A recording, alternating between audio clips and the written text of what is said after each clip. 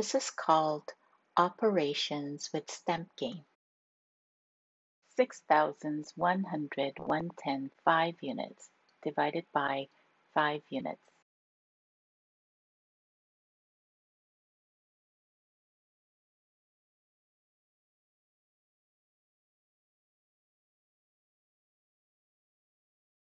We put out 6,100 110 5 units.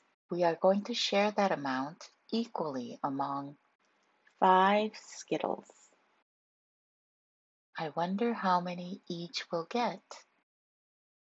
One for you, one for you, one for you, one for you, one for you.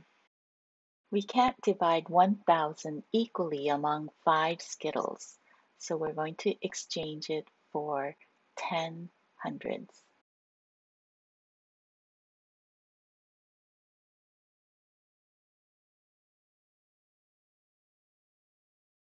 Does each Skittle have the same amount? How many thousands does each have? One for you, one for you, one for you, one for you. We can't divide 100 equally among 5 Skittles, so we're going to exchange it for 10 tens. Does each Skittle have the same amount? How many hundreds does each have? One for you, one for you, one for you, one for you.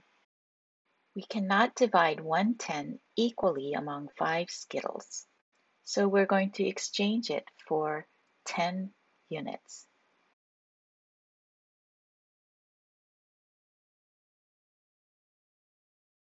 Does each Skittle have the same amount?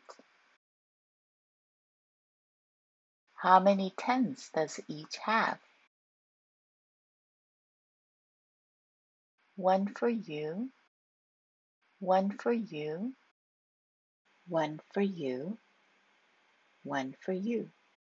Does each Skittle have the same amount? How many units does each have? We put out 6,100 110 5 units, and we shared it equally among 5 Skittles. When you counted what each Skittle got, you counted the quotient of 1,000, two hundreds, two tens, three units. This operation is called division.